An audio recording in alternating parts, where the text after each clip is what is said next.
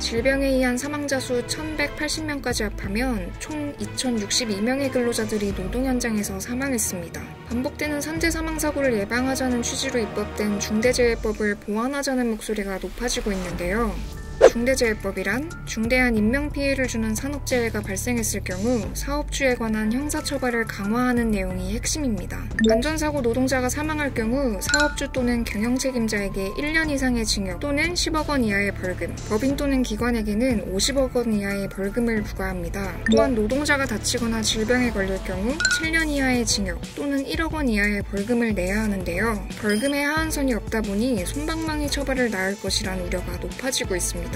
또한 50인 미만 사업장의 법 적용을 3년 유예하고 5인 미만 사업장은 아예 적용 대상에 포함하지도 않아 실효성 논란에 휩싸였는데요.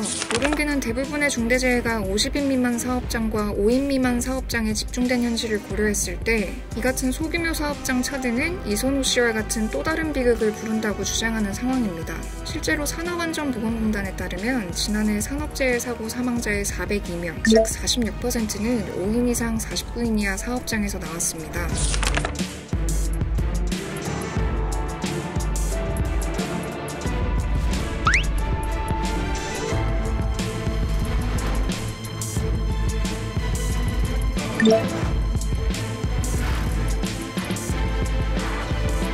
노동계가 꼽는 중대재해법 보완 지점은 50인 미만 사업장에 대한 법 적용 3년 유예, 5인 미만 사업장 적용 제외, 인과관계 추정의 원칙 및 포함이 있습니다.